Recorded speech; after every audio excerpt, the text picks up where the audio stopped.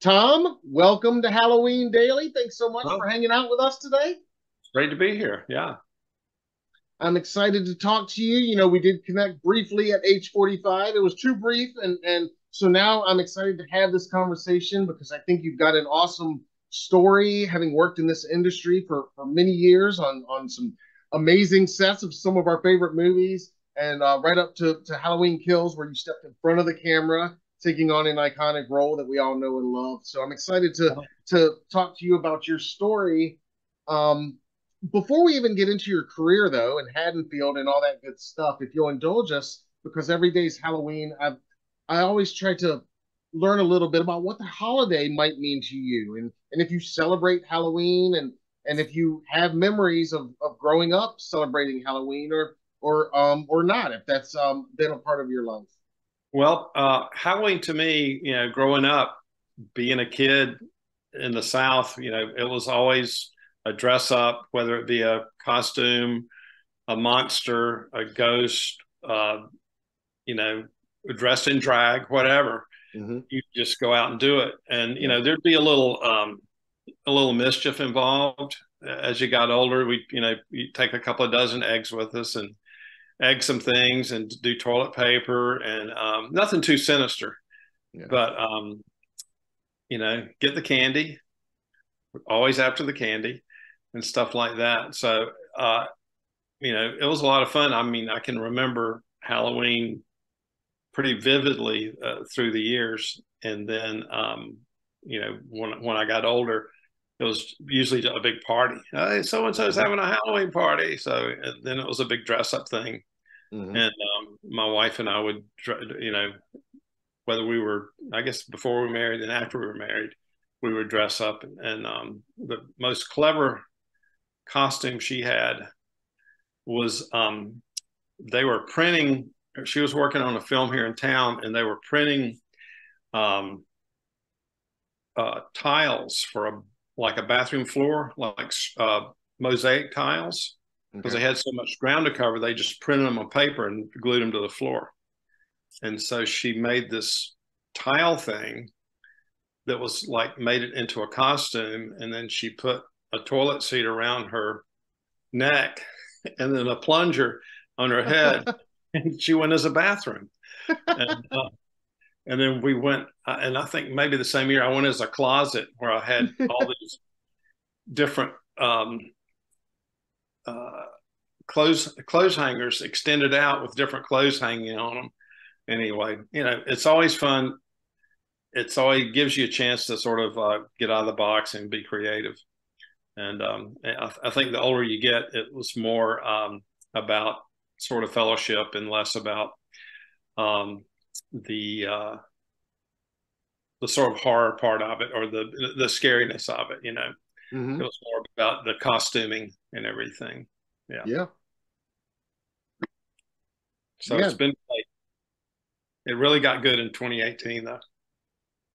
Well, uh, yeah, I'm I'm sure that the holiday has taken on a slightly different meaning uh, since 2018. And, but, and you know, I have to say, Halloween Halloween is huge. Mm-hmm. This holiday of Halloween. Yeah.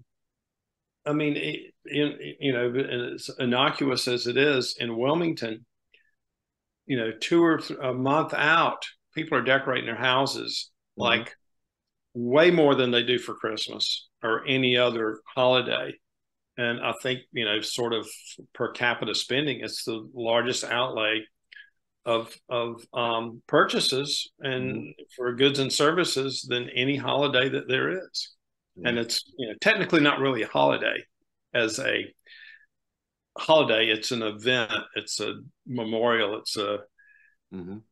um, it has got a life of its own. You know, it's it, a celebration. It is, and, and and it really is, and it's it's like you said, it's uh it's fellowship in its community. You know, we've talked to people before oh, yeah. where it's it's a little more about community, whereas you know some of the other holidays it's, it's about you know family stuff and and or religious stuff. This is it's more about the community. You know, it's you're going out and and and being around your neighbors and stuff, and meeting your neighbors in some some case, uh, albeit in costume, but you know, it's yeah. it's. And, and I have to say, with the um, going to the horror conventions, the um, attendees are so into the art form. Oh yeah.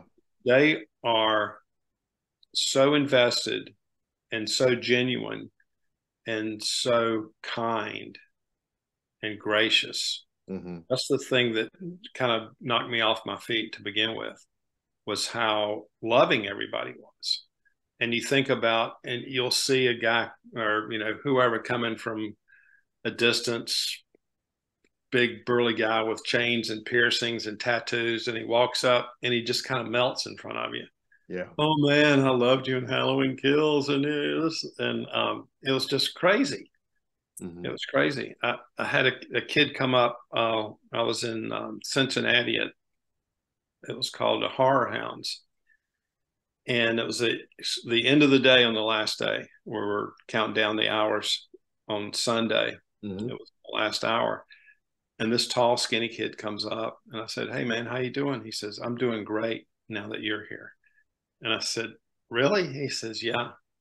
And so um, we get to talking, and he says, um, I want to do, I want to get a headshot, and I want you to write a proposal to my fiance on the headshot. And so I said, Will you marry me? And, but I, you know, I put my name on it, but he was going to give it to her. Mm-hmm. And he came back and you know we took our picture together and he says this is the best day of my life. And where are you going to get that? Yeah. I said well it's a pretty good day for me too. And so anyway that was like sort of uh, a, a capsule of the kind of stuff that happens you know? People and and the families will come from the father, mother to the tiniest one will all come in costume. Sometimes in the same costume, they'll all be dressed alike, mm-hmm. and and and and do the um, do the convention, and it's just so um, innocent and heartwarming. Yeah, yeah, it's really. But the horror fans are the best, and the fans of this franchise, like you said, they're so passionate and it it all comes from from the heart, and we love Incredible. it. Incredible! They they're so passionate. Yeah, yeah and I had people come. I had a guy come and um, I did a film when I was just starting out in the business, uh, Trick or Treat. Yes, he, I, I, wanted to, he, to ask you about that. He had a Trick or Treat poster, which are not easy to come by, and uh, had me sign it for him. So that was that was a real treat. Yeah, that was great. Well, be- before we get into, because I want to talk about that one too. I know that's one of your earliest um, projects you worked on. Before we leave the Halloween holiday, we always ask, and you mentioned costumes. What what is your favorite costume you've worn? And also, we always ask, what is your favorite Halloween candy? Well, my favorite, I dressed up as a Girl Scout one time. I have to say that was probably my. Uh, I was probably ten or eleven years old, mm-hmm. and my next door neighbor, or, or he lived across the street. He dressed as a like an old um, hag for oh, yeah. and his sister uh, had a, a, Girl Scout uniform that mm-hmm. fit me, so we went out together as a Girl Scout and a hag. Yeah, that's great. And we threw a couple of dozen eggs while we were out. So we're not going to talk about that. Yeah. awesome. How about uh, how Halloween treats or Halloween candy? Well, my favorite is um the um I'm a fool for chocolate and peanut butter. I love a Reese cup. Yeah. And that's my and now that they've started doing with dark chocolate, yeah. that's really got my number. Yeah. Mm-hmm. Yeah. So I think that they started doing that just for Halloween, and now I think do them all the time now. So anyway, I've always had a little bit of sweet tooth. I get that from my mom. Yeah. nothing, nothing wrong with that. I, I hear no, that. Yeah. No, it's good yeah. stuff.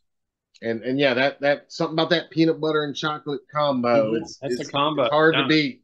It is hard to beat. Yeah, and it's good for you. You know, some dark chocolate, some peanut butter. You know, you get your fat, you get your uh, um, through uh, forget what there's whatever compound you get from the dark chocolate mm-hmm. and some protein. So it's good stuff. Yeah, keep you running all night. That's right. That's right. Keep you keep you going. That's right. Um, so so from there, you mentioned trick or Treat, and I know I was studying your IMDb today, and yeah, you worked on, like I said, some some sets of some really big iconic films. But the first one down there is the 1986 Halloween movie, one of my favorites, Trick or Treat, also filmed in Wilmington. Um, yep. So can you can you walk us through just I mean, and you're there as construction foreman. If people don't know, I, I know some some of our viewers might just know you as Dr. Loomis, but yeah, yeah, we're talking about you're you're entering the business on the construction side. So can you talk to us a little bit about getting into it, into the business on as construction, and then on onto uh, trick or Treat, if you right. Well. well, I had um, I had a background in uh, residential and commercial construction. Okay, leading up to the um, the the start of the industry here in Wilmington. Um, Dino De Laurentiis, who was an Italian producer, came here and did Firestarter in 1983, and at some after the film was made, he decided he wanted to bring his company here.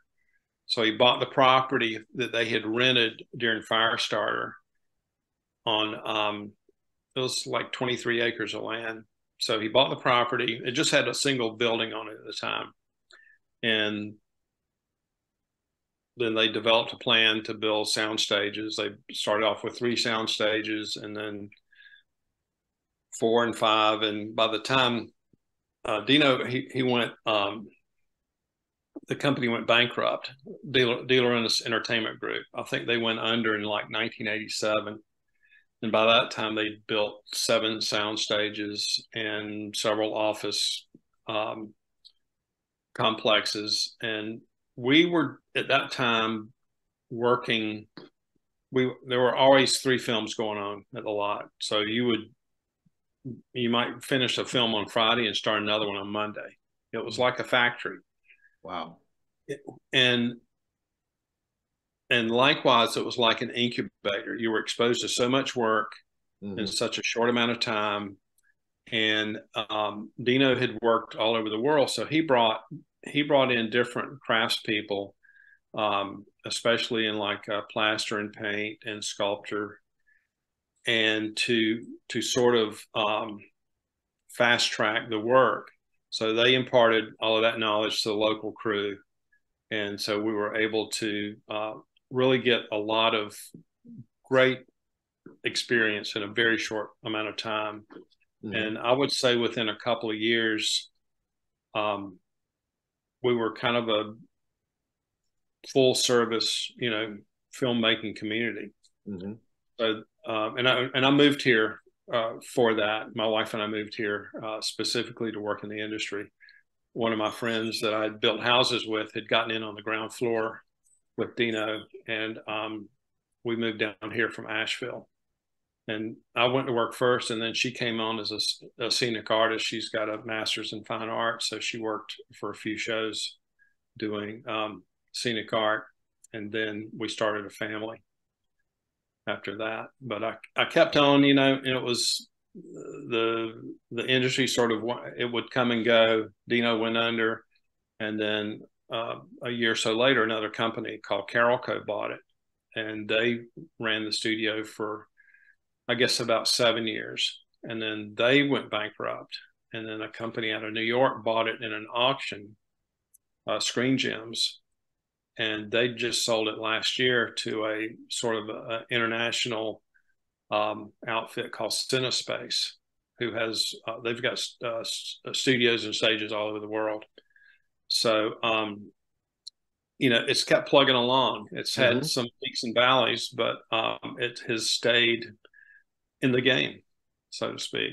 And um, so, and likewise, um, the people who stuck with it have kind of been down the same path, you know. So that's been, um, uh, as I say, 40 years behind the camera yeah. and 12 hours in front of the camera. So you were the, so you were there right right at the at the beginning basically as as like you said when dino first opened the studio that would later be screen gems and yeah. um and and where did where did you move from We moved here from Asheville, North okay. Carolina. I was okay. living. Uh, we were living up there, and it was. Um, I was working in, in uh, building houses, mm-hmm. and just kind of scratching out a living between mm-hmm. uh, weather and um, you know, and it was a little bit of a depressed housing market at the time, so there wasn't a ton of work, and uh, we were looking for a change. Mm-hmm. So that got us here, and um, we, we said, well, we'll give it a few years and see how it works out, and so it worked out pretty good. We're here, uh, you know, we've lived, we've been here 40 years now this month. So, wow. yeah. Wow. So since 84. Uh, when we moved here, the only, you know, the studio consisted of one kind of a warehouse slash office building. And then they, you know, started building stages one by one and kept adding and adding. And um, my second film called Year of the Dragon, we built um, three blocks of um, New York's Chinatown with full stores, sidewalks. Uh, and we went like four stories high.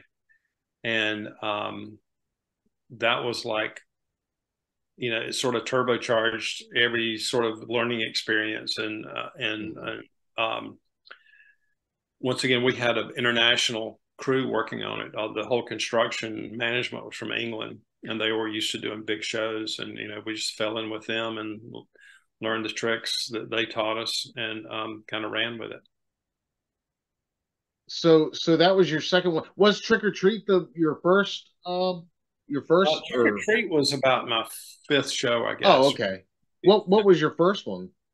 It was called Cat's Eye. It was a okay. Stephen, mm-hmm. Stephen King um, selection of short stories mm-hmm. about through a cat's eye. There were, I think, we had four vignettes, and the sort of the the one that I did the most work on. We built a um, we built a set that was six times life size.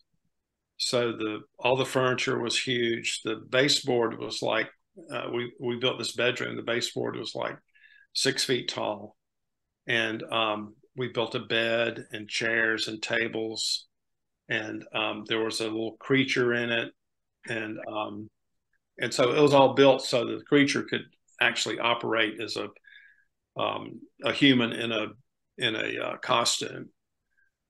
But um, anyway, it was it was a good show. It was a lot of fun, and um, we did probably maybe my fifth or sixth show, we did um, we did uh, Trick or Treat, and that was um, that was my first horror film.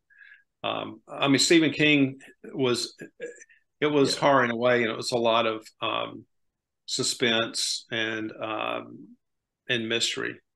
Sure. But as far as like pure, more uh, visceral horror, I guess Trick or Treat was was the uh, first one. Yeah. So it was a lot of fun. We built the house that yeah. the um, main character lived in. We built the radio station where Gene Simmons was the DJ. Yeah. And we had the our director Charles Martin Smith had uh, made a name for himself in the film Starman, which I don't know if you'd seen seen that or not. But, oh yeah, um, yeah, John yeah. Carpenter movie. I love it. Yeah, yeah, and um, so that was good. We had um,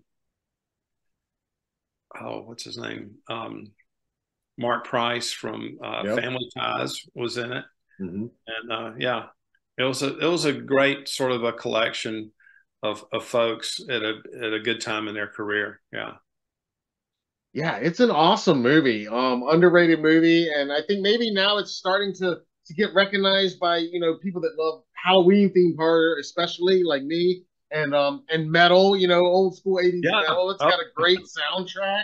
Um, I love that. Ozzy Osbourne and Gene Simmons, like you said, appear in it too. So it's it's got a little yeah. bit of everything in it. Um, yeah. Um, what what are some of your other memories? If we can stay on that for just a minute, because again, it's it's I just love that movie and and um, any any other anecdotes that uh, you can tell us about from that set because uh, yeah, like you said, Mark Price is in it, and of course uh, the character of Sammi Curr, he's he's the rock star brought back from the dead and everything. Um, yeah, and, and they, they had this guy Kevin Yagher come in and he did the um, I don't know if you're the the speakers the the face came out of the speakers. Oh yeah, yeah, yeah, and mm-hmm. that was really cool. And we were there for all the tests for that. Awesome. And, uh, and just you know a lot of cool effects. And we had a um, we filmed in a neighborhood where we blew the windows out. I think we built some windows out of balsa wood and candy glass. Um, that was a night shot, and I can't remember what all happened, but um, there was a one of these hiccups where the windows didn't come out on cue, and we had to like scramble and stuff like that, and then they finally came out. Um, and then we built the uh, exterior of the radio station out in a field where there was a actual uh, radio antenna. Okay. So we went and scouted it, and unbeknownst to me, because I wouldn't have known, but where there's an antenna, where what you see going up, there are these, um, and this is the way uh, it was back in the day. They came down, and you had all these sort of tentacles coming out of the bottom in a radial fashion that I guess they were grounding for the antenna. And so we had to really sort of uh, work around all that stuff because you couldn't just dig or or, or uh, pierce the ground anywhere mm-hmm. to do that uh, exterior.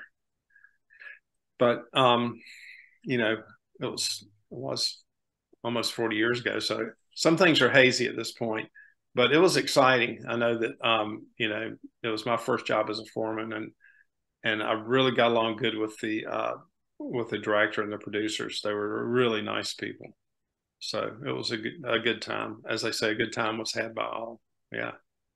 So, and like you said, this this was your first job as construction foreman. Can yep. just for our viewers, can you describe a little bit about what what actually that entails for people well, that don't know?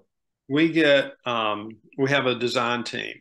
Mm-hmm. You know, they read the script, they meet with the director, so they design the sets to fit the story um, for as far as description goes, as far as camera goes, as far as action goes. So they design the, the uh, they design the sets. Then we take the drawings, we build the sets.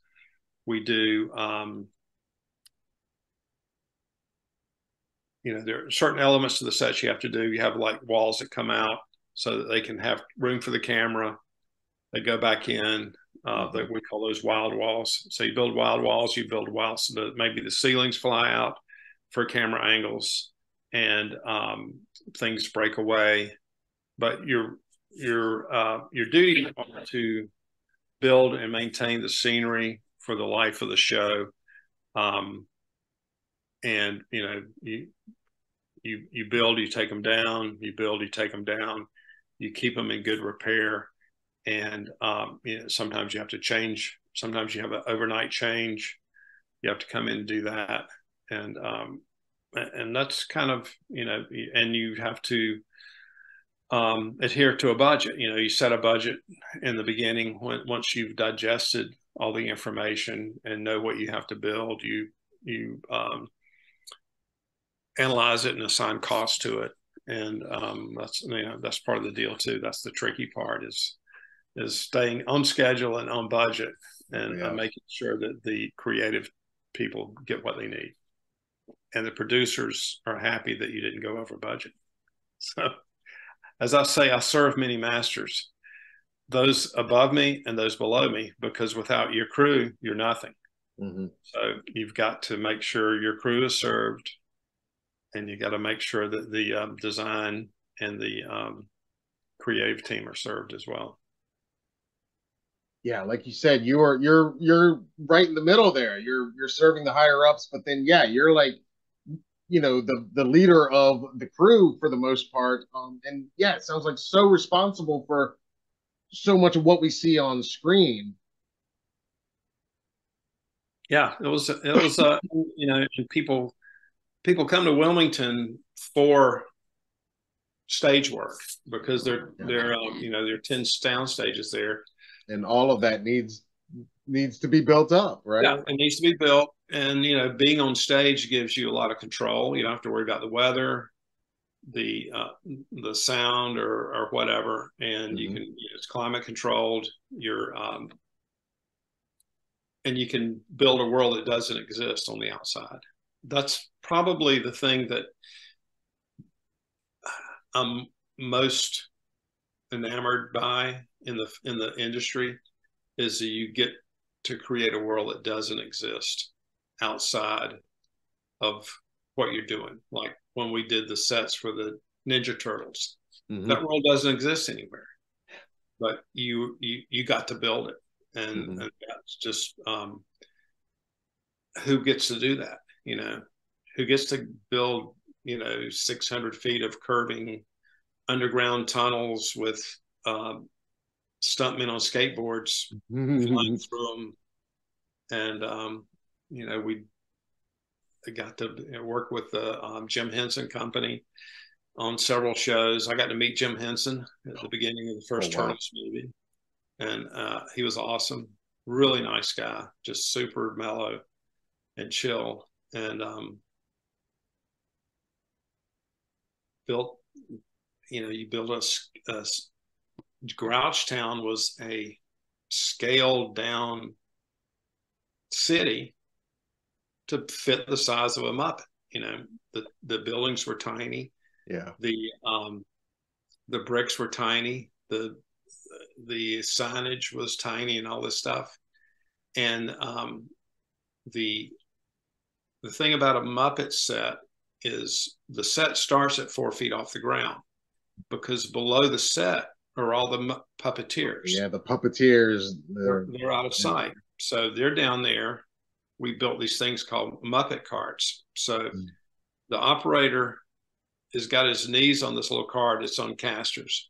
He's got a video monitor, and he's got a micro. He's got a, a headset on with a microphone, because a lot of times the puppeteer is also the voice actor for the for the puppet. So he's got usually a hand in the in the mouth, and the, his other right. hand is running an arm or two, and he's looking at the monitor because he's seeing what the camera sees. So mm-hmm. he's reacting to that, and um, we had this scene in in Grouchtown where they had this huge sort of um, not a riot but a huge uprising and you've got about 25 of these people operators all on the ground. If you look at it from four feet up, it looks like Muppets having their thing. And you look at, then you back up and you see the whole thing and you see mm-hmm. 25 more people on the ground doing all this stuff.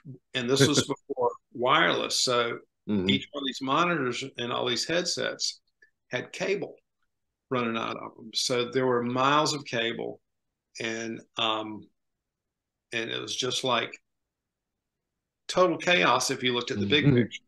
You look at the from four feet up, it was like, you know, it was a Muppet movie. So that was like, um, and you, until you see it, you can't imagine what it takes yeah. to make it happen. Yeah. Yeah, I'm I'm sure. And and like you said, you're working on for the most part on these sound stages where there's nothing there. You're creating it literally from from thin air in, in walking the, into the most part. building. Yeah, and um, the the art department creates these environments.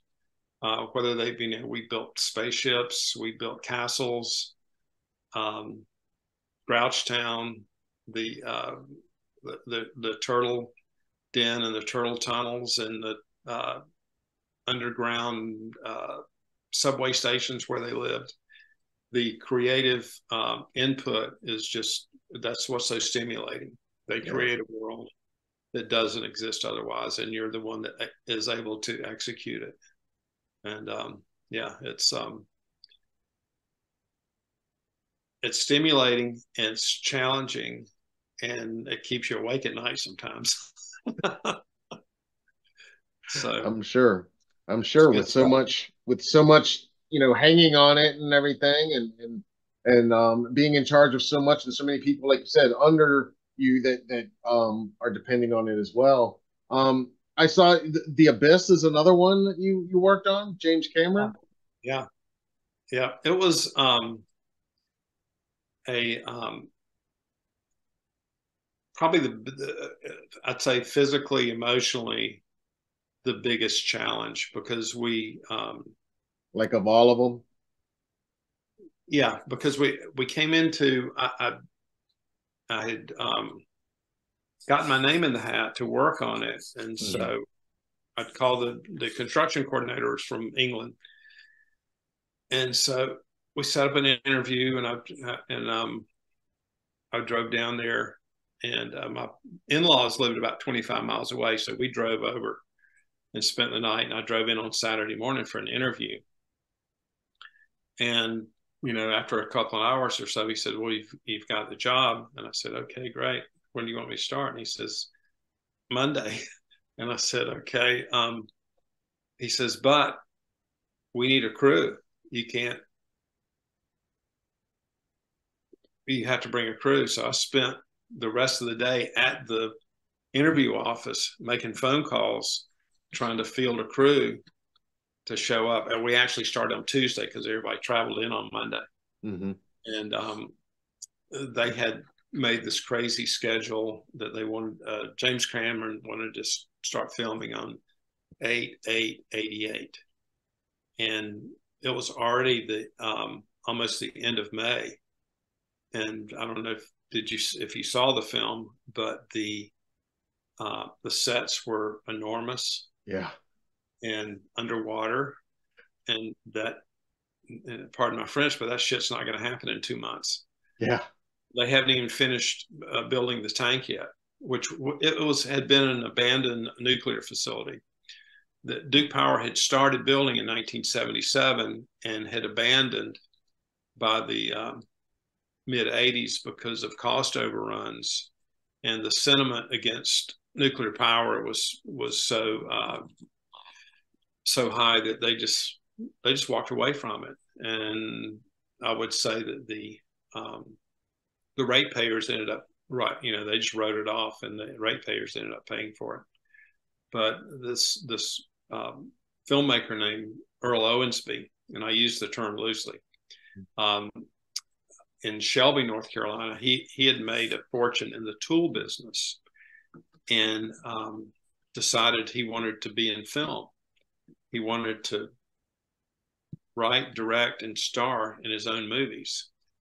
So he went to um, uh, Shelby's about 45 miles west of Charlotte. So he went to Charlotte. He he hired camera people. He hired some script writers and bought equipment. And he had a facility outside of town with a couple of warehouses.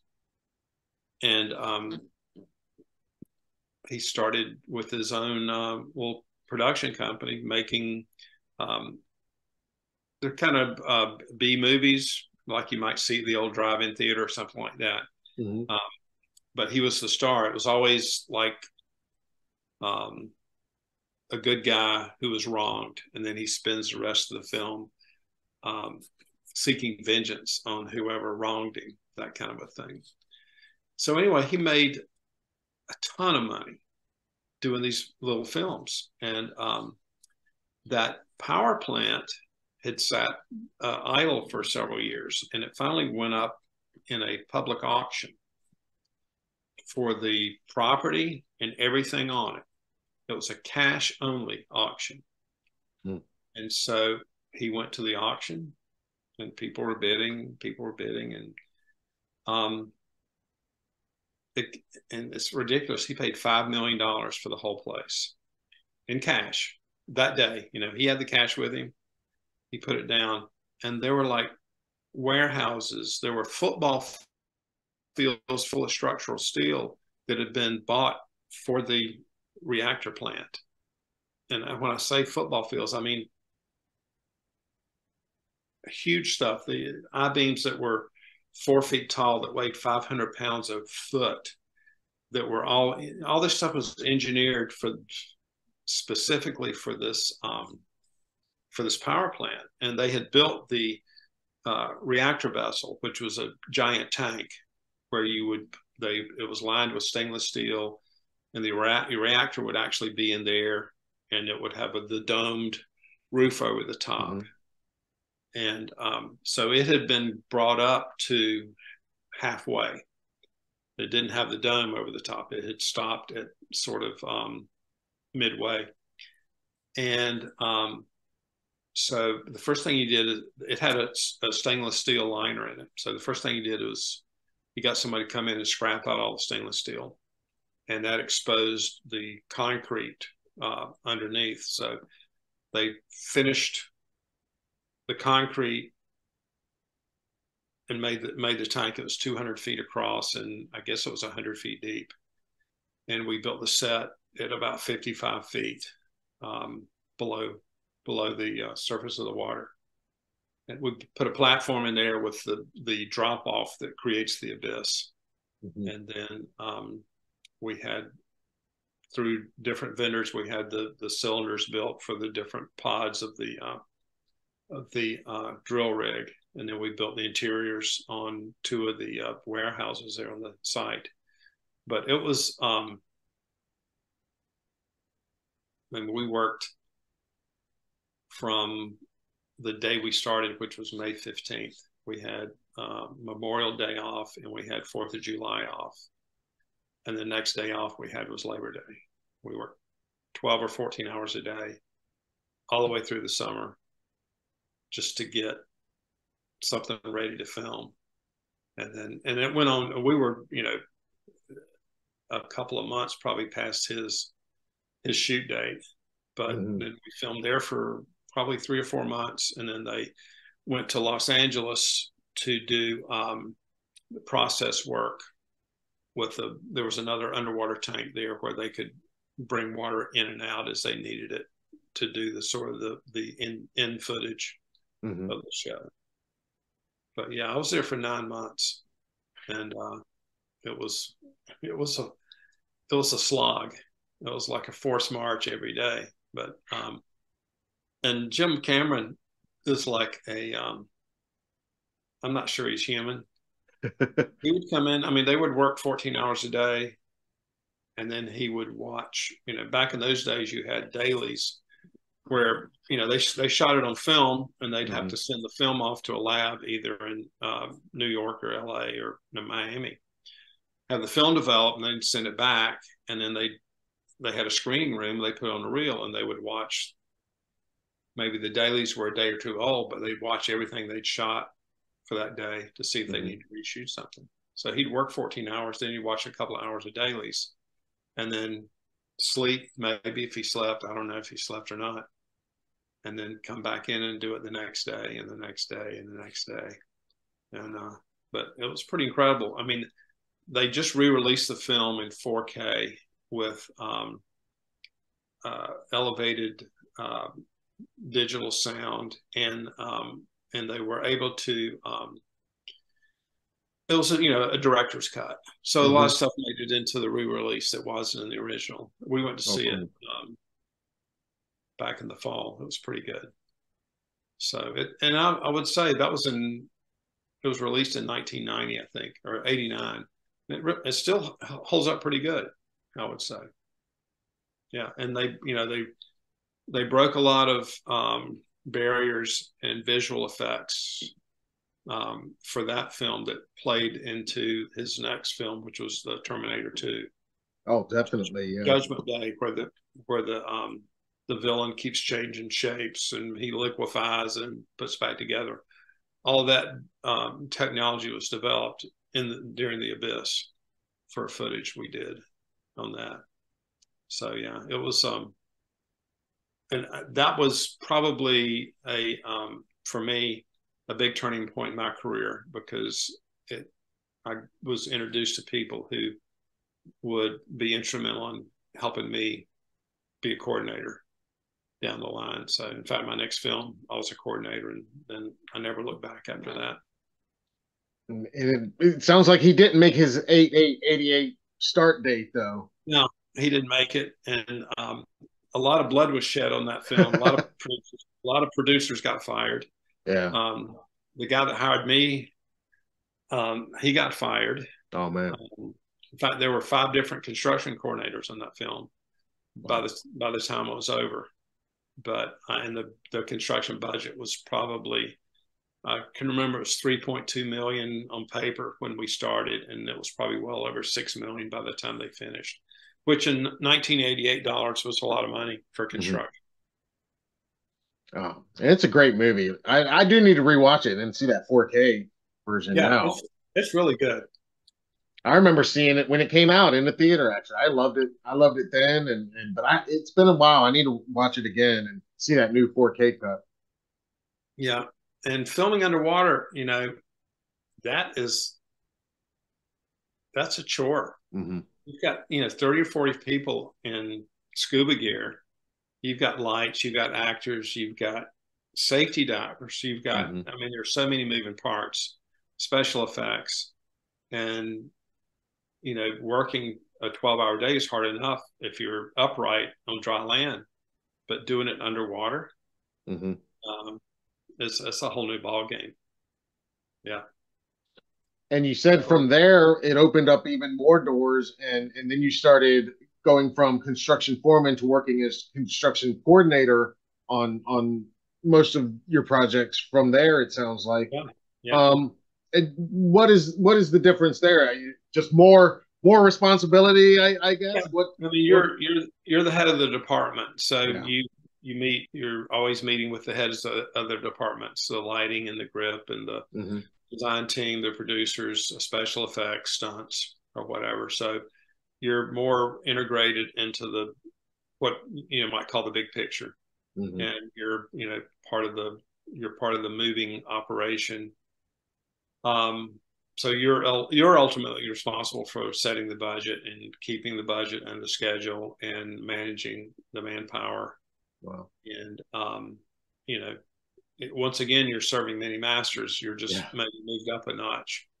So, um, but it's it's a good, enjoyable vantage point to be at because you you you know you get exposed to a ton of stuff that you wouldn't ordinarily be exposed to.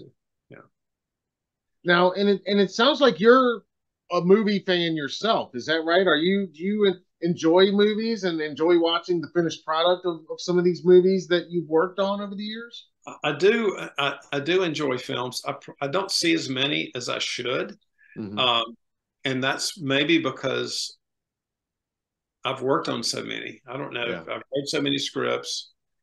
And um, sometimes I enjoy the process more than the finished product. Mm-hmm. And, and uh, no offense to anyone, but um,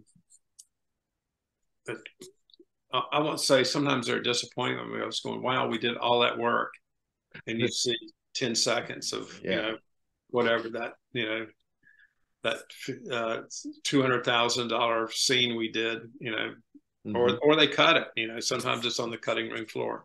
Mm-hmm. So um, I'm I'm a pretty avid uh, movie fan, and I enjoy talking to other uh, trades that that work in the industry. Like yeah. when um, the film, uh, the little film on now, the uh, director of photography has done a ton of stuff, and he's worked here before. Now I really enjoy talking to him about what he's worked on, and he knows a lot of people I've worked on, or I've worked with. Um, globally, it's a very small business.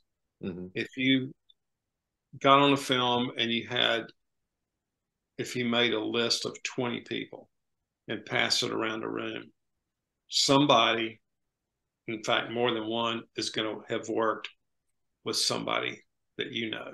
Yeah. Somewhere. Um, and if and, and now that the, you've got the IMDb and everything, if you look for somebody, you'll see, and then they'll mention all the people that you've worked with that they've worked with.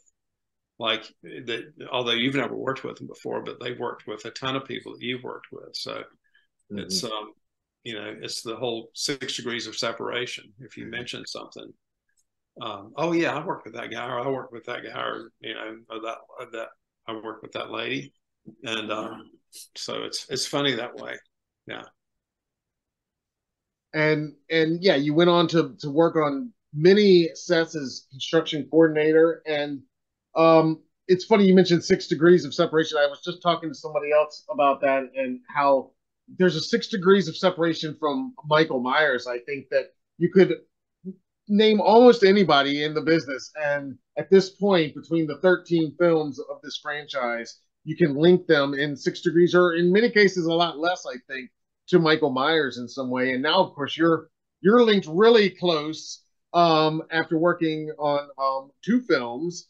Um, before Halloween Kills, though, there was Halloween 2018, and I know we're we're jumping ahead a few decades here, but but um, what was your, I guess, relationship to Michael Myers before working on that film? Did you know the original film or any of the other films in the franchise? I saw the original. Okay. In, in uh, 78 mm-hmm. when it came out. Um, and um, I don't, and I'm, I think I saw the original. I saw Halloween 2 mm-hmm. and then that's all I saw of the franchise. I didn't see Season of the Witch mm-hmm. or four or five or six or all the different iterations. I actually watched all of them before I went to Halloween 45. I either rented or bought them all just to because I just never seen them, you know. Yeah. And just to see where where where the story arc went, and you know, people would die and then people would come back, and um, so 2018 was really kind of a a uh, reimagining of the yes. of the the lore of the story. So it was uh, it was a fun it was a fun thing. But I, yeah, I was familiar with Michael Myers and um, obviously Jamie Lee Curtis. I'd worked on another show with her back in the '90s, and um, super sweet lady, um, really amazing. And um, you know, I think the whole reboot would never have happened had she not agreed to uh, to be part of the cast.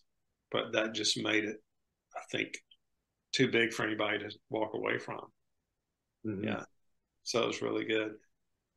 And that one, of course, was um, shot in Charleston, South Carolina. And right. uh, um, had you worked with David Gordon Green or any any of that crew before then? Well, I had worked. I had done season one and three of Eastbound and Down. Okay. Which yeah. um, is before they filmed or before they formed Roughhouse Pictures, but uh, obviously Danny McBride was the star, mm-hmm. and um, David and Jody Hill took turns directing. So David, Jody, and um, Danny McBride formed Roughhouse Pictures. Uh, subsequent to that, and Danny and um, I can't remember the other fellow's name wrote the script for 2018 and for um, Halloween Kills mm-hmm. and for Halloween Ends, as far as that goes. Um, so I was not really scheduled to do Halloween 2018. Another coordinator had started it, and um, they had set up offices, and for whatever reason, it didn't take off right away. Mm-hmm. So he got a he got a, a, call to do another show, and he says, "I can't wait around." So he took the other show, and then um, Richard Wright, the designer, called me and said, "Hey, are you available to do this?" And I said, "Yeah, we're coming off of a uh, we did a TV series called Good Behavior, and it just wrapped. So I said, "Yeah, we'll come down and do it." And so um, that was that was sort of the, you know a lucky break for a couple of reasons. That you know, we got another job, and then it introduced me to the uh, environment where I would end up um, being anointed to play Dr. Loomis. So yeah, it's a good well, thing. Well, yeah, you you you come into there and, and you worked on it, and and um, so on the 2018 film, you know, you're there as coordinator. So again, I mean, so many of those sets you had a hand in building and and um and knowing just those first two films like you did at that time, was it exciting for you to to be working on a Michael Myers movie, or was it kind of just just another another gig at that point? No, it was good because the fact that they were bringing it back, yeah, I think was it was electric you know, yeah. everybody was jacked about it. Uh, David, yeah. Danny, um, the uh, and the, you know they hooked up with Blumhouse this time. Yeah, and you know, and I think the Blumhouse crowd was really um, they were all in, and it was a it, it, was a departure from them because it was a bigger budget film than they were used to doing. They were mm-hmm.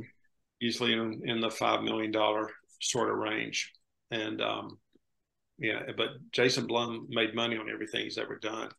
This stuff has been super successful, and he's so prolific. So um, the the line producer and the production supervisor were part of. They worked pretty much uh, on a ton of Blumhouse stuff, so they were there. And he's got he's got sort of a brand ambassador, a guy named Ryan Turek. I don't know if you've ever met him, but um, he was there. So he's there to to sort of keep everything uh, on a um, trajectory that that really supports the art and the uh, recognition of the characters and stuff like that yeah. um, as it relates to uh, to to the um, organization. So um, and and the fact that Jamie Lee was in it, it just you know everything was uh, kind of a perfect storm for that reason. And when um, you know the the original script that we read started off with a flashback from the uh, 1978 film. It picked up with the scene where Loomis shoots Michael Myers six times. He falls off the balcony. Um, you know, they they run over there and the body's gone. Um, as it turns out, um, this wasn't that film because for budgetary reasons.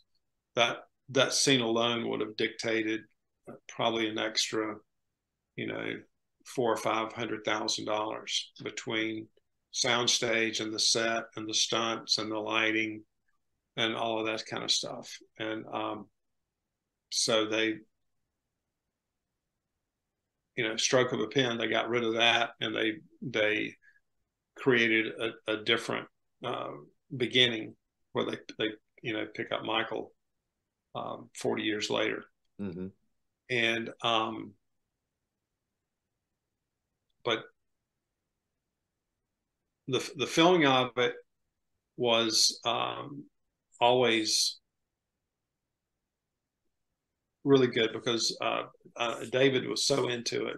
Yeah. And um, I, you know, I got to meet. Um, uh, I'd already met Jamie Lee, but um, Jim Courtney, who plays Michael Myers, he's the. Uh, in fact, he had auditioned for it before that film. Nick Castle was there, and um, you know, to meet all the sort of legacy people that have been involved with it was really, uh, really great. I had a good time there and you know Charleston's a pretty cool place to hang out too. Definitely. And uh, what what was the the Jamie Lee Curtis project you worked on? Just curious. The previous well, one. It was a sci-fi. Um, I guess it was. It was more science fiction than horror. It was oh, called. Oh, okay. Virus was the name of it. it Virus. A, okay. Yeah. Um, I wouldn't recommend it to anyone. uh, no offense to anybody, but it was script wise um, it didn't really have any redeeming uh, qualities, and um, you know, had a lot of cool stuff. We got to build a lot of cool stuff. But she was the, you know, she was the the female lead in it. Donald Sutherland was the male lead. Uh, William, William Baldwin was in it, and um, it was just a big old gobbledygook of a too many too many bad ideas coming together with too much money, you know. Yeah. Um, and as, uh, ironically, it was um, John Bruno who had been the uh, visual effects coordinator on The Abyss and Terminator 2 and um, other other uh, James Cameron projects. Uh, this was his first directorial debut, and it was kind of a gift to him for having worked in the trenches all these years. And they said, okay, uh, Gale Anne Hurd, who was uh, James Cameron's ex-wife, and she produced The Abyss and Terminator 2, and um, she was producing Virus also. So this show was um, his uh, his sort of uh, coming out party, so to speak. Yeah, and it was probably um, ill advised because he'd never directed before, mm-hmm. and it was not a great script to start with, and um, and everything was. Um, it wasn't about acting, you know. It was about stuff. It was about a monster. It was about a robot. It was about an explosion, but it, the story never like came out.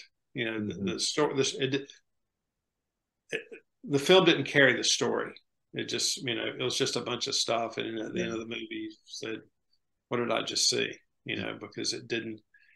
Um, you know, the script is the most important thing. Mm-hmm.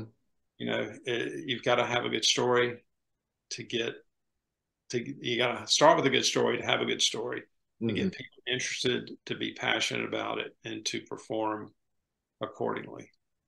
So, but anyway, uh, we got to meet her, and she was she was super friendly and um, really nice. And uh, um, then on um, Halloween 2018, you know, she would have the shooting crew wear name tags so that she would always call you by your name. She wouldn't say, "Hey, you," or "Hey, yeah. so she would say, "Hey, Matt, how are you doing today?" Or "Hey, John, how are you doing today?" Or "Hey, Reva, could you, you know, could we get a cup of coffee?" You know, mm-hmm. but very down to earth and uh, just very personable. Yeah, great, That's- great, great heart.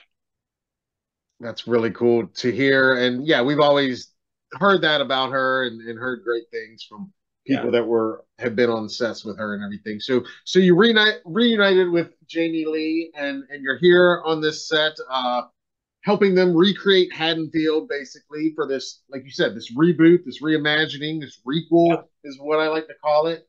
Um what was the the most challenging part of that shoot that you I guess the most challenging thing you had to build for that shoot? Well, we um the the most challenging thing, I guess, we we built the uh, basement set in mm-hmm. Jamie Lee's house, mm-hmm. where she had her um, her cellar with all her armaments down there and everything, and um, it wasn't so much a challenge when we built it, but we came back and did uh, reshoots, and um, after the film was, after they cut it together, we we wrapped in about March, I guess and then I got a call at the end of May and said, "Hey, we want to we want to reshoot um, mm-hmm. the end of the the end of the show." I said, "Okay." So we loaded up and went back down to Charleston, and we out in the parking lot outside of the uh, where we had our shop and our stages in Charleston. We built um, an upstairs, and we built the upstairs and the downstairs of that same house. We built the whole uh, cellar down below and the upstairs, and um, we it was a, a, massive build. Didn't have a lot of time to do it, but we did the whole the fire and wow. the where he gets trapped down there. Yeah, and that was probably the, the the biggest challenge because we were we were able to do probably what we should have done the first time yeah. It was just a lot more expansive, a lot more visceral, a lot, a ton of um, mechanical effects and special effects, and um, it's it's you know where Michael gets trapped in the fire and uh, down in the down in the uh, cellar mm-hmm. and everything. So that was cool, and that was the for, for me, I guess. Um, mm. That was the best part of the uh, 2018 was actually the reshoots because we really got to uh, sort of get out of the box and do some do some uh, good stuff. Yeah. So wild stuff. So so your most challenging, but your best time on set too was was during the reshoots. and and yeah, I mean that's right there in the parking lot, recreating that whole climactic scene and, and everything down there in, in her uh, basement there at the end. I mean, that oh. that's. Yeah, and we built her bedroom also uh-huh. on, okay. on, the inside of the stage, and that's where Michael is in the closet. They've got the louver doors. It's almost uh, you know a um, tribute like a, original, right? Louver doors, and he's uh, stabbing into the closet and everything. It was uh, kind of ironic, and um, but everybody was like when when they came back for the reshoots, everybody was super jacked because they'd seen the they'd seen the film cut and they knew they had something. So they this just kind of put it over the top with the reshoots. Yeah. I do remember the excitement when the anticipation, you know, was thick that year and everybody was just, you know, so excited for the return of this franchise and these characters and and you know like when the trailers dropped and everything and everybody's losing their mind. And and I've talked to James Jude Courtney and a lot of people Christopher Nelson a lot of people that worked on that film um, over the years. And they've all kind of said that that yeah there was this electricity on set that just everybody was on every level of the crew was there in part because they they just really wanted to be there for for this project, you know, as much as it was a job, it was like everybody was was like kind of extra excited because of what it was, is what I keep hearing. Had such a legacy, yeah, yeah, yeah, and the fact that it was a, a reboot. I won't say starting over, but you just sort of drop the content of all those yeah. interstitial films and went you know it, from the time he was locked up and now he's you know, still locked up when the film starts until he escapes. Mm-hmm. So um, yeah, it was it was good. It was um, a lot of uh, I think anticipation every day. You know, everybody's licking their chops to to get the day going. Yeah, so it's really good. Wow. And good then like, really good energy. Yeah. And like you said, that that kind of um, introduced you to to D- the David Gordon Green and, and the whole Roughhouse uh, crew there. It sounds like, and and you go on to work with them again, and of course in Halloween Kills, and you come on as construction coordinator, um, and before we know it, you're on screen taking on the role as Dr. Loomis, this iconic role in in these flashback scenes. So I, I know you've talked about it before, but walk us through how how after all these decades of working on on all these sets for all these filmmakers, the decision was made to to put you in front of the camera as uh, the new Dr. Loomis. Well, that actually happened on 2018 when when the because we were still working with the original script. So okay, so they were going to do it. Our very first um, department head meeting, we're sitting in a conference room and all the important people are at a table and the rest of us were in, on the perimeter just in folding chairs. And they're going through scenarios and schedule and so forth and so on. And um, the first ad leans forward and he looks down. And he says hey. I said me? And he says yeah. He says take your glasses off. So i took my glasses off he says, Give me a look. So I gave him the sort of the stare and he punched David. He says, Hey, we've got our Loomis right here.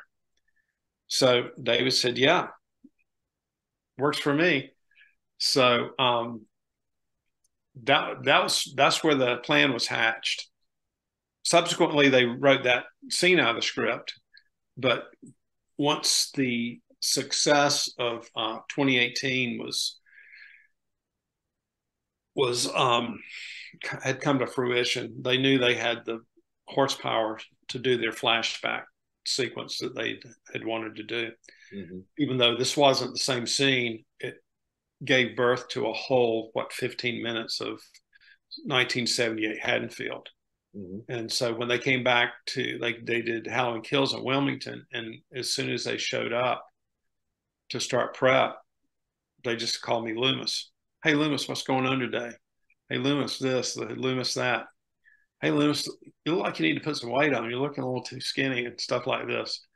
So, anyway, that was, um, you know, it was all kind of fun and games. And then um, they said, well, uh, we need you to um, fly to Los Angeles and get a, a life cast done of your head for um, for you know prosthesis. So they flew me out to um, L.A. I went to a studio that Chris Nelson was um, involved with, and uh, Vincent Van Dyke, and they shaved my head and my goatee and everything. They took took a life cast, and then they built.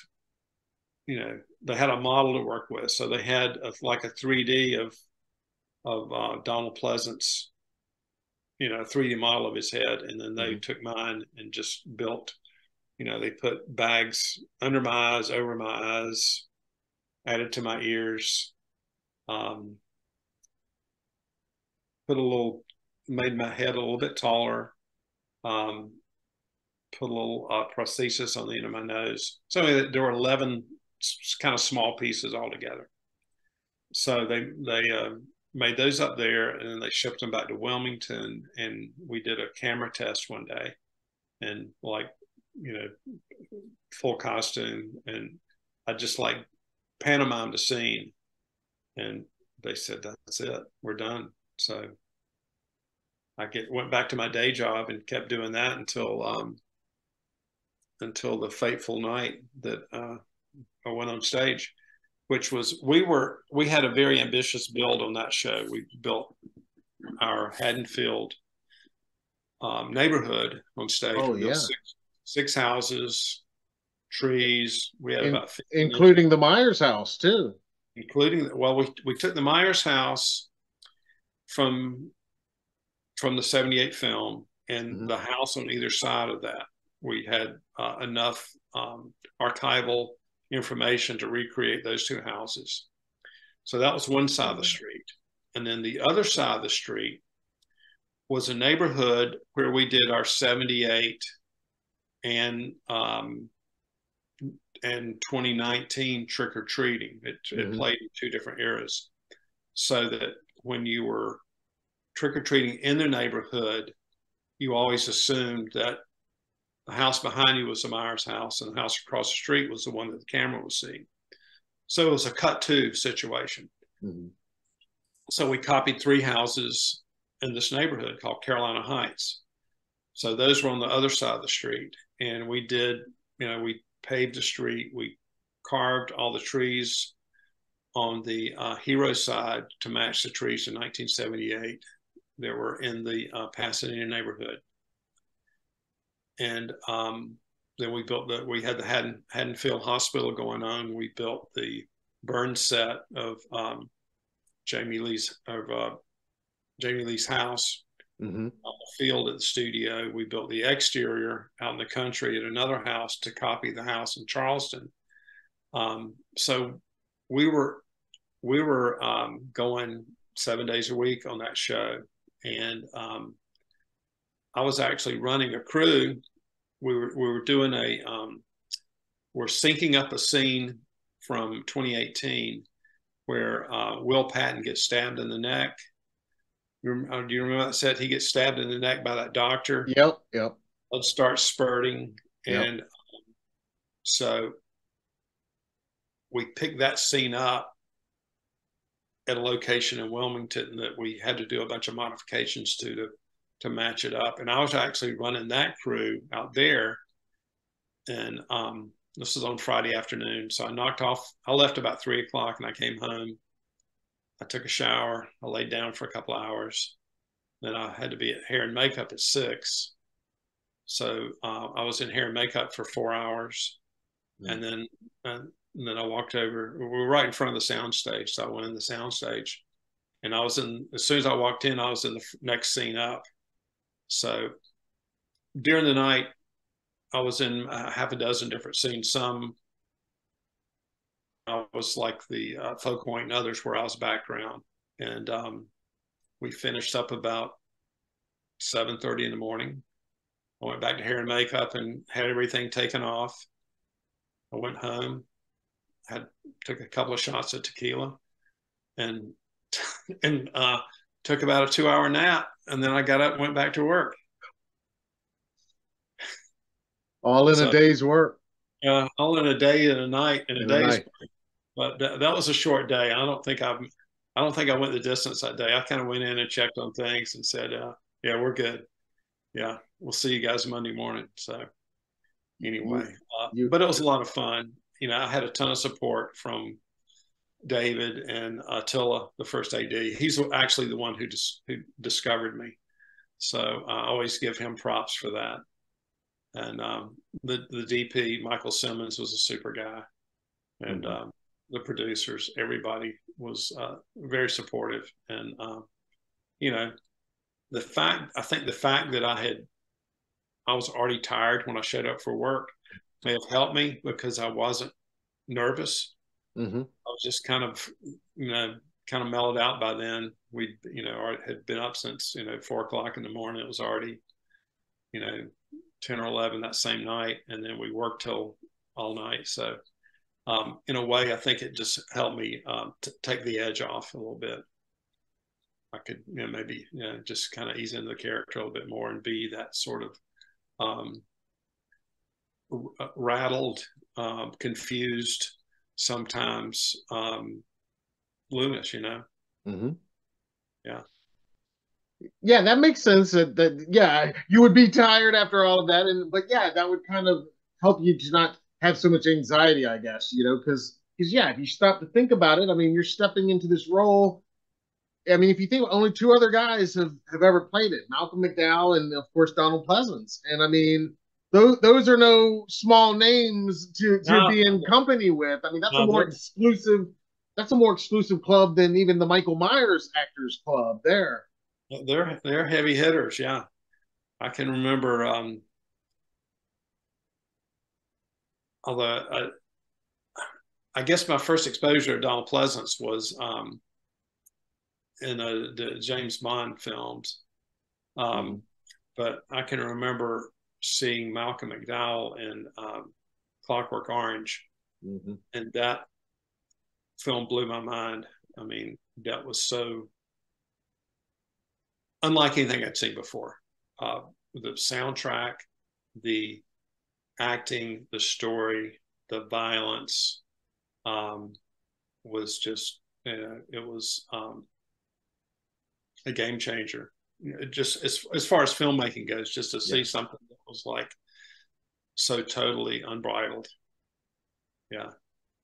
So yeah, it was, uh, and I'm sure it, it, it opened a lot of doors for him too because he got a ton of exposure from that film. Yeah, I, I met him at, at the, he was at the Cincinnati, um, the Very con cool. I went to in Cincinnati.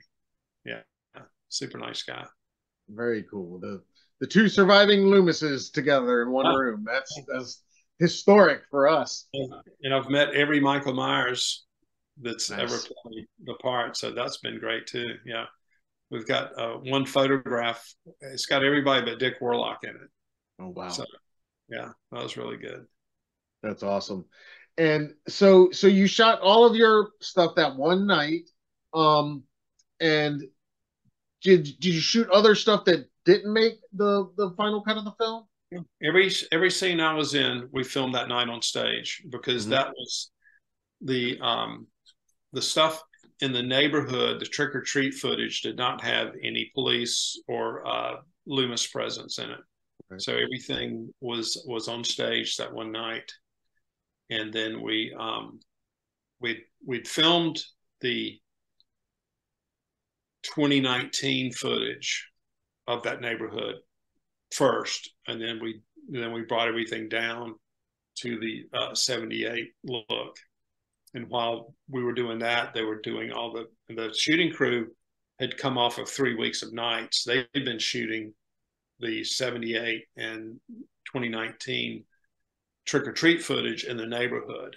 So they were at the end of their run of nights, and and I happened to be lucky enough to get on their last night of nights when I came in. So they, they were already in, on their light schedule.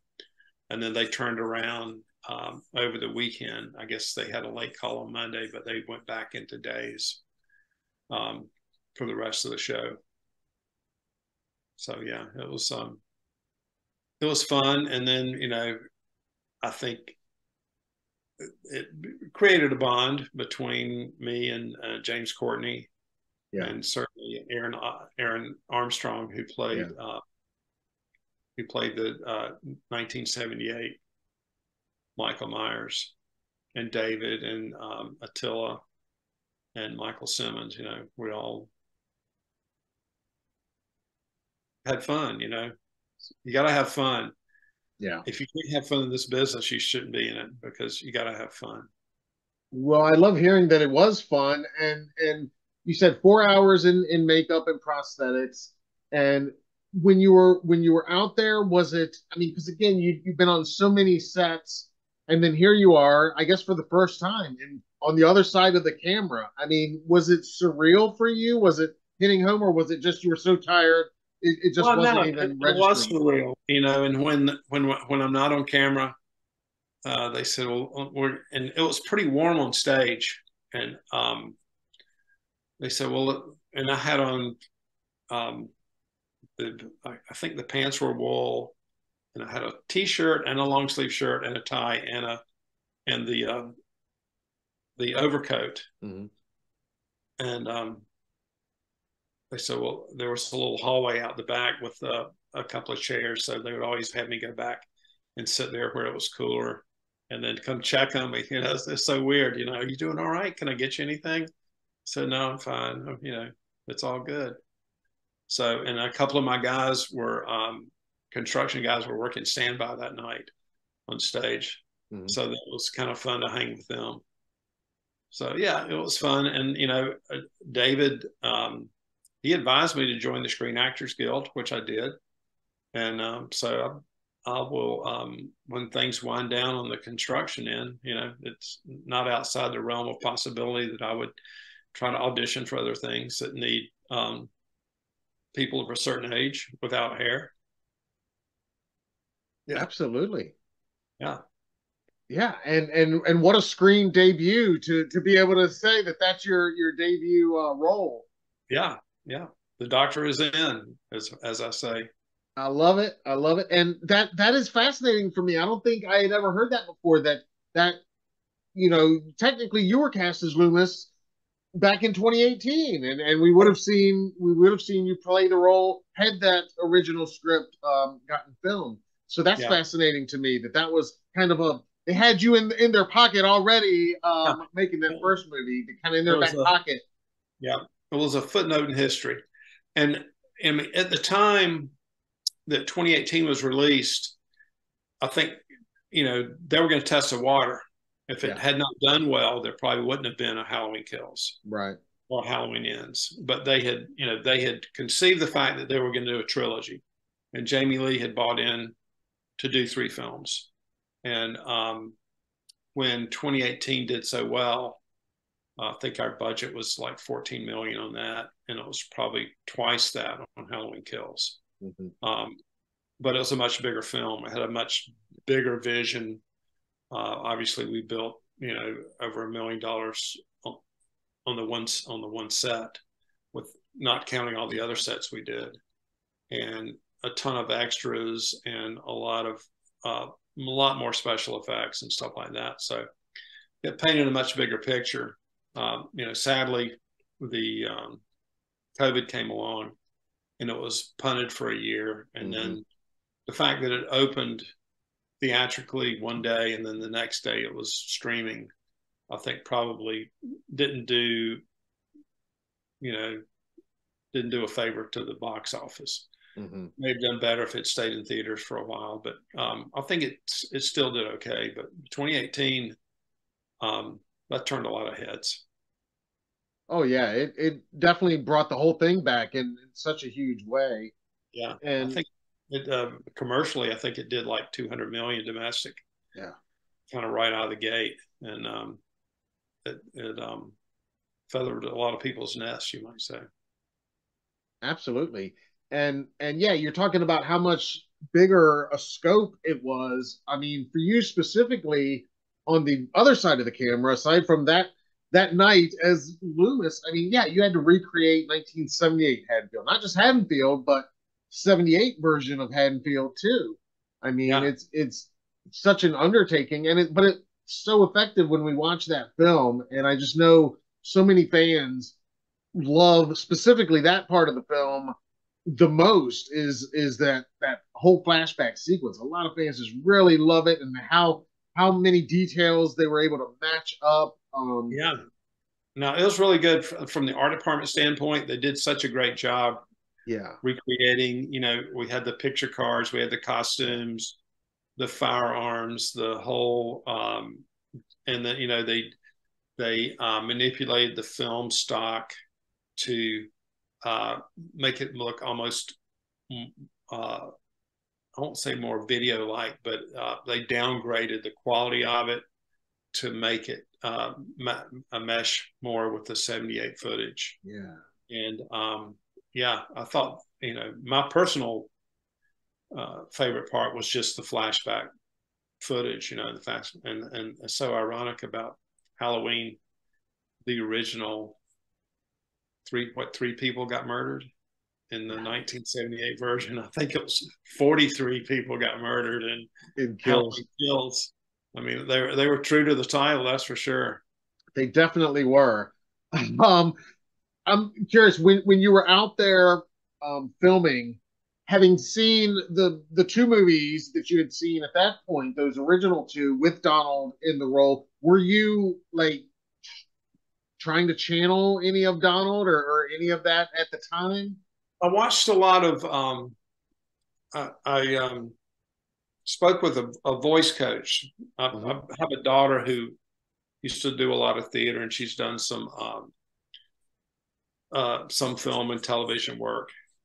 But she had a voice coach here that she worked with a lot, uh, and so I worked with her a couple of sessions, just trying to get the uh, facial sort of uh, he's got this thing with his nose sometimes so he kind of his nostrils flare out and get the timbre and pace of the voice so uh, she had um, had had done a bunch of sound bites and and recorded several scenes just you know just try to work on these you know it's the mm-hmm. the cadence and the um um, I couldn't ever quite get his voice, but I could I could get the sort of mannerisms and the um, the the pace down.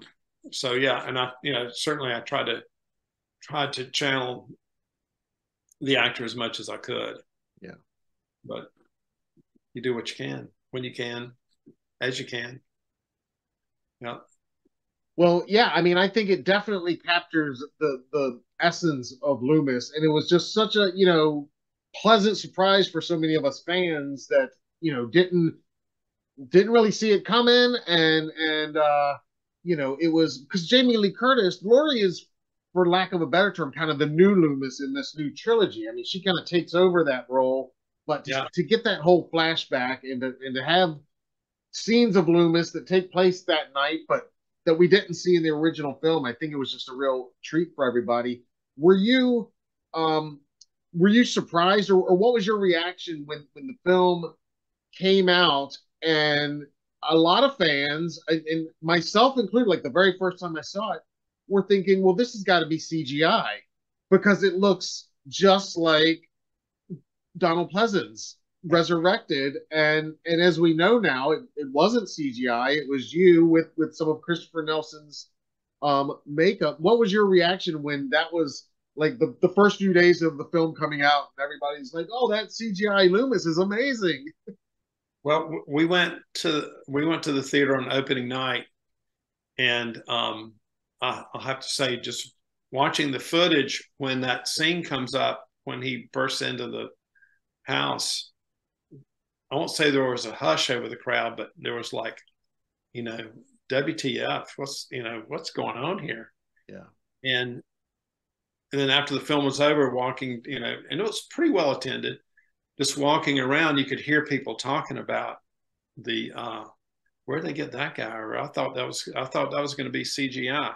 Yeah. And um, I went on the IMDb before the film before I was um, actually I was not listed on the crew until right before the film was released. They didn't have they didn't have the character's name. They didn't have an actor's name on the IMDb listing because I, mm-hmm. I, just just out of curiosity, I said, "Well, I'm wondering if I'm going to get a credit," you know.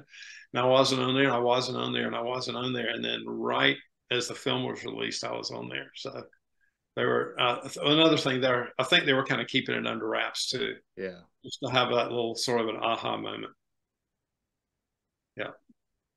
Well, it definitely was was that moment in, in theater, seeing it for the first time, and and again, just it, it looking so well, and um and yeah, you you mentioned working um on the voice. So is that your voice we hear as well on the character? It is not my voice. Okay. It's a, it's a voice actor that they've used before for Donald Pleasence um, voiceovers. Okay. And, um, they said do as best you can, and I had gotten it pretty close, but the fact that I had to sort of yell all of my lines, it was hard to yell and keep that yeah. same uh, that same voice character going. So, and I mean, I listened to the when they were doing the uh, editing. It was right down the hall from the art department, so I could hear them playing that scene over and over again. And um, you know, it sounded okay, mm-hmm. but obviously that needed to be tuned up a little bit. So, mm-hmm. you know, I, I wasn't offended. Yeah. yeah. No, I think it's a great, you know, it's, just a great marriage of all the everything coming together to to just bring this character back, you know. And yeah. um and yeah, it's not CGI, and that's the other thing that like is so refreshing is that it was done practically and and that yeah, most of it is just just you and how you look and embodying um, the character and his look um, with with a little bit of help on in the makeup yeah, department. Yeah. yeah, kudos to Chris Nelson. Yeah, yeah, he's the one that opened the door to the horror conventions because he does a lot of them, mm-hmm. and uh, he contacted his agent and he says, "Hey, we've got this guy who played Loomis in Halloween Kills." you might want to talk to him about doing some cons. So he called me, uh, a guy named uh, Sean Clark. I don't mm-hmm. know if you know Sean or not, but yep, he's do. very prolific. And um, so, yeah, he's hooked me up with six conventions and um, super nice guy. And every everybody in his organization is uh, has been really great to work with. Yeah. So I always thank Chris and um, it's uh, always nice to uh, hear from him. Yeah, good guy, and a good yeah. actor in his own right. Yes, yeah. Oh, he is definitely, and um, yeah, we love Christopher and Sean. Yeah, they're both awesome, and I know them. Um, so so the film comes out, and of course everybody's blown away that that we've got a new Doctor Loomis, and and and now the secret's out, and and it's out there, and it's you, and and um, you know, Christopher shared some behind the scenes photos to say, look, this is this is the real guy. It's not CGI, and um, confirming, you know, put laying to rest whatever uh, anybody was thinking. But um, and like you said, now you're you're making some convention appearances because you're you're part of this massive franchise. Now it's 13 films deep, um, 45 years as of last year. Um, now, did did you work on Halloween Ends, or, or was there any um, thought of well, working on that one? Or there was thought. Uh, I quit traveling. Ah, okay. Um, the, the, Halloween 2018 was the last film I did out of town. Um, just because I don't want to leave my wife at home alone anymore. Yeah. And um, originally they were going to do Halloween Ends in Wilmington, and I, I, don't know why that didn't work out. Uh, it may have been the Georgia tax credit or mm-hmm. any number of things. But um, Richard called me about doing it in uh, in Savannah, and I said, "Well, my heart's there, but I just can't. I, I'm I'm not traveling anymore. I just, yeah. you know, it's, it's a conscious decision on my part to not be out of town months at a time because I've done that uh, many times over my career. Mm-hmm. And, you know, my wife has been a rock and has kept the home fires burning and taking care of everything here. And, um, you know, after 40 years, I need to um, do my part, yeah, so to speak. Um, but strangely enough, my crew ended up going down to do the reshoots mm. of Halloween Ends um, after the film was. Um, I guess the same thing after they cut it, mm-hmm. they did not like the ending, mm-hmm. so they went down and did the um, whole thing at the um, junkyard where they have the grinder right that up um, Michael's body. Mm-hmm.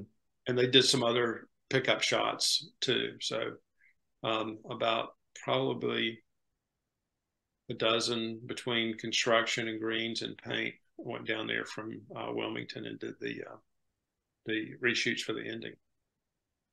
So I, I, indirectly I had a hand in it. Yes, exactly. You yeah, indirectly you were you were still kind of there, kind of there in spirit. Anyway. Some of some of your uh, experience. Actually, worked on it.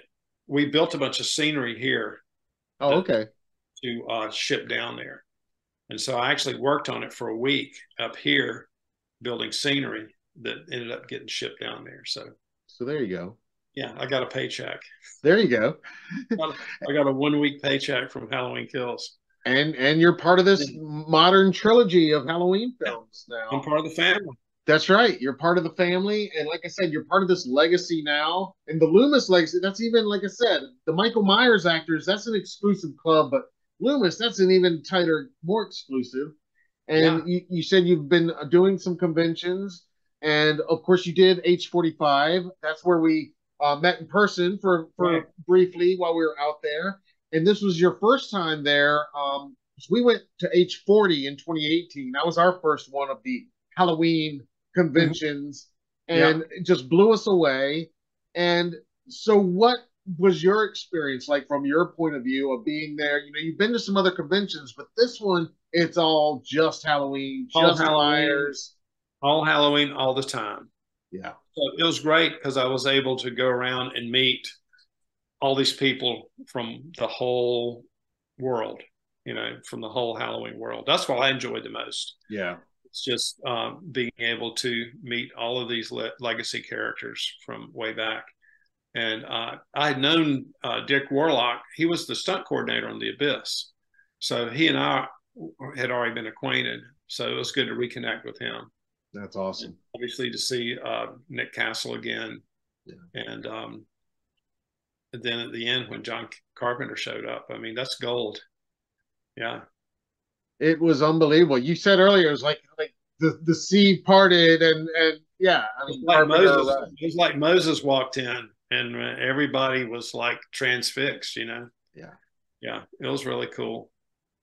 It, um, it was so cool. Like you said, he's the he's the father of all of this, and and you know, it's just you know, and to have Malek Akkad there too, you know, who's kept it yeah going. Yeah. I mean, his dad kept it going when when it could have gone away after Halloween three. You know, this could have all just stopped there, but it was Moustapha Akkad that brought it back, and then you know Malek that of course has kept it going um, ever yeah. since. Yeah, and you know, there's I don't know where it is, but there's talk of a, a TV series. Yep. You know, and as far as um, features go, they say it's done, but you know, all it takes is a stroke of a pen. Yeah. There, yeah. There won't, there won't, be another um, Laurie Strode. Right. Not in the person of Jamie Lee, but you, you never know what anybody might reimagine. Oh yeah, that's what we say. And, and Michael now is so big a character. He's you know he's like Frankenstein and Dracula, where or Batman and Superman, where they're going to keep reinventing him over and over for every decade, for every generation. And and yes, now they're developing a, a TV series with Miramax um, that um, they're saying is going to be tied to the next future feature film. Um, you know, it's an exciting time for us as fans because it, they could go anywhere with this. This franchise yeah. has had so many reboots and requels and and and it's a choose your own adventure franchise as it is. So they could really go anywhere or do something totally fresh and totally reimagine it again. Yeah. All the all the molecules from Michael after he got shredded, you know, they might all just magnetize back together. I think they will. Pure pure evil, you know, it, it just changes shape. That guy's got so much dark energy, you know, anything could happen. That's what it is. Yeah. That's what it is. And um and I know you're gonna be um making other appearances and, and conventions and everything. And, and of course when when you do get other uh, screen work, we, we wanna uh, hear about that. But you mentioned um, your on-set cinema screening with our friend Kenny is coming up. Um, yeah. As we're as we're recording this, it's in a, in a few weeks, I think. Do you want to uh, plug it's, that next, appearance? Next Thursday, August uh, uh, April the fourth. Awesome. Yeah, at the Rusty Nail, which is the um, it's an old blues bar, but we filmed the whole uh, mob scene um, where everybody's up talking about the night of 1978 and they yep. get all worked up and um, they that's where the the the whole uh, impetus for the mob to go out and get Michael starts you know it starts at that bar and and the, all the anger and the angst builds up and they leave there hell bent for leather yeah so and that's uh, as I understand this, Kenny goes to places where mm-hmm. films were made or parts of films were made and does screenings there. So it works out really good that he's able to go to the Rusty Nail and do that. Yes, when when we uh, went to Florida a few years ago on the way back, we did swing into Wilmington, and that's one of the stops I had to make because it's it's they call it mixed bar in the film but yeah, yeah, the Rusty Nail. We we had to poke our head in there and get some footage in there while we were in town, because uh, yeah, that's a that's a Haddonfield landmark now. Yeah, and uh, Kenny is going to do a um, a screening in his house. Uh, I think this summer, and uh, I think he's in. Is he in uh, Hillsborough or Pittsboro? Um, yeah, Hillsboro. Hillsborough yep. Yeah, mm-hmm. and um, wants me to come down for that, so that'll be good. Oh, that's awesome. Yeah. Yeah. Have you been to his house yet? The Myers house, in North Carolina? No, I haven't. No, no. I'm You'll, excited. I'm excited to see it. You'll love it, and I'll I'll love to hear your opinion of it, especially as somebody who actually constructed the Myers house for Halloween Kills. Here, you're going to see another um, replica of it. So I'll I'm sure myself and Kitty will be uh, interested in your opinion of it. But it's yeah. impressive. It'll be fun. Yeah and and more chances for fans to meet you. And I'm sure you'll be making other uh, convention appearances as well. I hope so. It's it's fun. Uh, as I say, the fans are um, so gracious and passionate and really kind and into the art form. It's just unbelievable. Yeah. They are. I mean, this this franchise, especially, it's. I always say it's like you know the best horror franchise and the best fans. They're the most passionate. Um, they're they're the most opinionated too. You know, and they'll let you hear about it. But they it's it's all passion and and at those conventions, those those events especially, there's just nothing but love in those rooms, and, and that's yeah. that's what we love about it. And we just you know we feel it, and it's we're all crazy for this fictional serial killer that you know wears this mask and uh and these other characters, but um and I don't know why, but it is something magical in there. Yeah. Unlike now, anything else, that's for sure. it is definitely unlike anything else. Yeah, I don't think there's another franchise, definitely not another horror franchise like Halloween that can can sustain itself like this with the fan base as passionate as they are. Yeah. Hey, I want to put a plug in for a podcast. Sure. Okay. Um, a couple of local guys here who were uh, film industry professionals from early on started a podcast called Wrap Beer, W R A P B E E B E E R exclamation point. And it is most episodes are about an hour long, and they've started they've interviewed people who are here on the ground floor at the beginning of the uh, studio and filmmaking in Wilmington. And it's an oral history of the the birth yeah. and the first few first few years of the i mean it's going to go into different eras but right now it's the sort of the dino era. And um, they've they've uh, recorded 12 episodes. And um, i'm i'm in i do episode five and episode seven but it, all of them are really good uh, just full of great anecdotes behind the scenes. Uh, one of the guys was Dennis Hopper's driver during Blue Velvet, and awesome. so you hear a lot of stuff about Dennis Hopper and Dean Stockwell, and all this, all the uh, stuff that was going on behind the scenes. And uh, and most of these people are, they're not. The people I've talked to so far are not actors. They are all uh, technicians or creative um, personnel in the in in in the industry. So you get a ton of uh, behind the scenes, sort of ground floor, real world uh, background. Really interesting and and funny. Yeah, I will definitely have to check that out.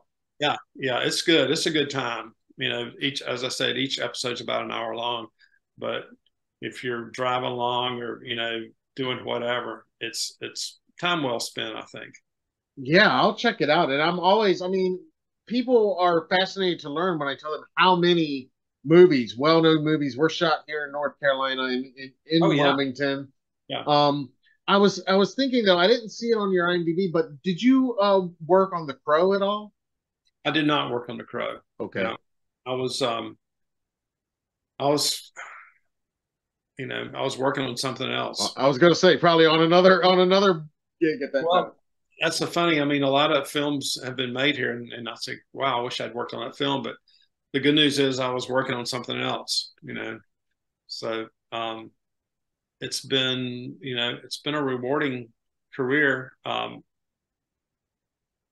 the the you know it's been ebb and flow for some years have been lean and mm-hmm. um, then once the incentive um, yeah program started up, um, I was working all over the place. I call it the incentive state comedy tour because you'd work, you know, you go to Louisiana, you go to Georgia. We went to Iowa for one show that had this massive tax credit. It only lasted for a year, but um, that's what it's all about for for the for to pull those productions in is the state's got to offer some kind of tax credit or something and, and sadly it is the uh, it's all started in the early 90s with canada mm-hmm. they were the first ones to um, to start the incentive um, sort mm-hmm. of contest they went and then i'm not sure who went after that i know louisiana it took north carolina a while to get going and then georgia mm-hmm. when georgia jumped in it was a game changer because they were um, they had a, a higher uh, tax credit and they did not limit the amount paid out um, with with highly compensated actors. Oh, like yeah. North Carolina has a cap on how much can be uh, paid out on top of an actor's salary, but Georgia okay. does not. And you, if you have a um, like Robert Downey Jr. or someone like that that's getting eight or ten million dollars a film, that adds up, obviously. Oh, yeah. In you know the aggregate part of it for producers, yeah. So it's tough. Uh, it's tough to compete with that. It's not yeah. a level playing field, but um, fortunately, we do have stages here. We've got a very, very talented crew base, and um, yeah, it's not a bad place to work. Yeah, and it, it seems like there's there's still no shortage of work there these days. I mean, there's yeah. there's projects coming through. Um, I know you, up, you know the the writers and the actors strike. Yeah, you know, shut everything down for probably seven or eight months.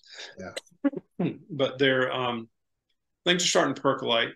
You know, there's still a looming uh, Teamster and um, and I I is the um, union I'm in. Um, That's right. We're in, we're in contract negotiations now, but mm-hmm. there is always a fear that there would be a strike. So I don't think a lot fingers of stuff, crossed. I don't think a lot of stuff is going to uh, probably uh, really hit until after the uh, contract gets signed, which is hopefully sometime in uh, July. Oh. So it may be kind of slow until then, but I think a lot of people are uh, gearing up to get to get a lot of projects launched after that. Like you said, maybe right after the contracts are are signed. Yeah. Hopefully, then then they'll be as, as soon as they know there's not going to be a strike. I think it'll uh, things will take off. Yeah, after after last year, nobody wants to uh, jump the gun too soon with, like you said, a possible strike even looming. Everybody's strike weary right now. I'll tell you that. That's yeah. a good term. Yeah, strike weary. I yeah, I hear that. Well, this this has been awesome.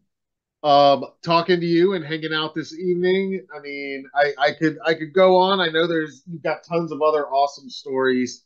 Um, but but I'll save some of those for another night, and we can we can talk sure. some and, more about some other projects because and, and check out the podcast if you get a I chance. I will.